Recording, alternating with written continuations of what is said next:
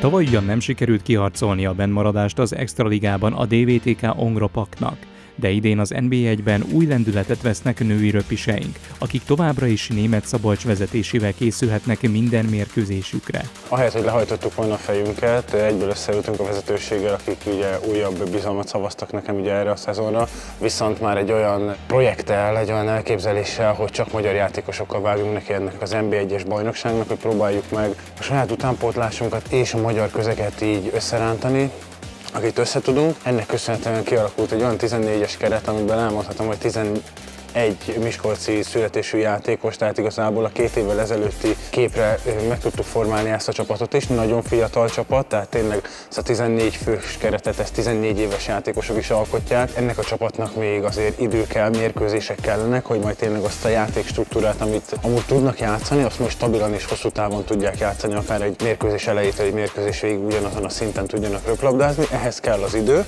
Nagyon-nagyon fogékonyak és nagyon szépen megy a, a képzés napi szinten, nagyon elszántak a lányok, tehát ugye röviden a, hosszan kibontva, de mégis röviden a, a válasz az az, hogy igencsak jól ment az átállás. Bár még mindig csak 21 éves, Holósi Dóra a csapat egyik kulcsembere lehet idén.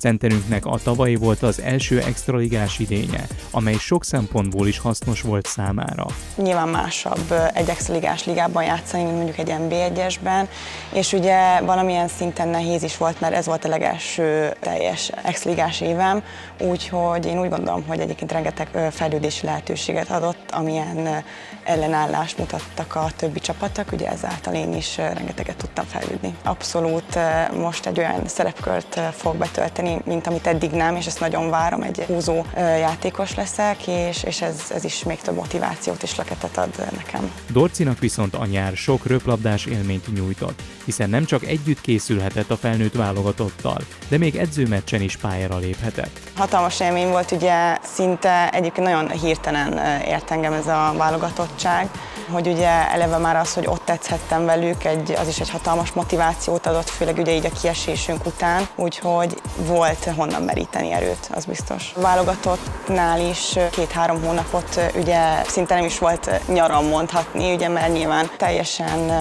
fókuszban volt ugye a röplabda az elmúlt egy évben, szerintem még jobban, mint mondjuk a legelső évemben, úgyhogy én ennek, én ennek csak nagyon örülök.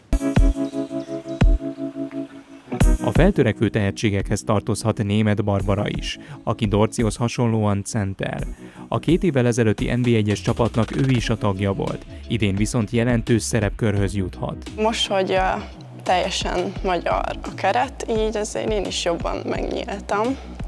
Tudni kell róla, hogy én egyébként nagyon ilyen félénk vagyok, de a lányok nagyon barátságosak, úgyhogy idén már jobban megnyíltam, mint két évvel ezelőtt.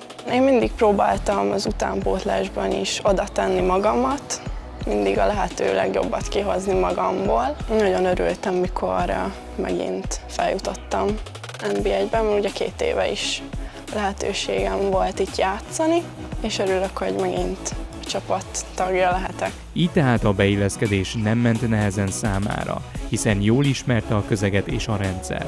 Nyilván a felkészülés az elég nehéz, de mostanra szerintem már egészszor így összeszoktunk, mert úgy tudjuk egymás lépéseit, és a pályán is ez jól működik. Már egyre jobban megszoktam, mivel voltak felkészülési meccseink is, ott is kezdő voltam, és mindig próbálom tényleg a maximumot kihozni, meg fejben ott lenni, koncentrálni, és még szeretnék fejlődni, mert még van hova, bőven. Idén természetesen a csapat szeretne jó helyezést elérni a bajnokságban, de nem ez a kiemelt cél a szezon során. Becsapnák magunkat, hogyha nem azért jönnénk le, hogy, hogy bajnokok szeretnénk lenni. Én minden nap elmondom a lányoknak, hogy nem kiáltjuk ki, viszont ezért dolgozunk, és hogyha ez a munka, amit beleteszünk, ez az idő a munkával egyidejűleg elegendő ahhoz, hogy mi bajnokok legyünk, akkor bajnokok leszünk, és utána majd a, a vezetőséggel leülve eldöntjük, hogy maga a, a, a támogatottság, illetve az igény, az igényli az extra ligát, vagy sem. Nekünk az a legfontosabb, és hogy, ahogy kezdtem is, hogy ez a projekt, ez arra irányul, hogy a saját értékeinket képezzük és növeljük, és ezekből próbáljunk meg eredményt kovácsolni így az évek alatt.